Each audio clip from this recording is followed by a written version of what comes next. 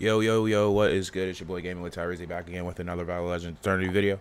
Uh, I feel like I ain't say anything, but I did. uh, but yeah, it's just a roster update video uh, on the free-to-play account here. Um, we finally did it. We maxed out the one they call Darby. Um, and maxed out, I just mean maxed out promotions. She's not maxed out on like uh, gear or anything like that. This is what her gear looks like. But yeah, we got the last few dupes we need. She's gonna be maxed out in the promotions. It's pretty insane, but not really insane. But yeah, it was pretty cool.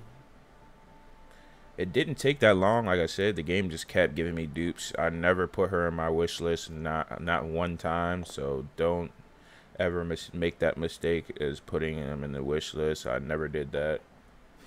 Um, honestly, once you guys get anyone to 11 stars, do not put them in the wish list. This is a waste. Because um, the bonus is good, but it's not incredibly good. So, as you can see by the stats, you only get 300 or 3k, not even 3k attack, is but around 3k attack, 1k defense, got a decent amount of health, and then her power level went up like 10k. It's not that big of a deal. Um, but yeah, that's going to be it for the roster update video, guys. Thank you so much for watching. I'm out. Peace.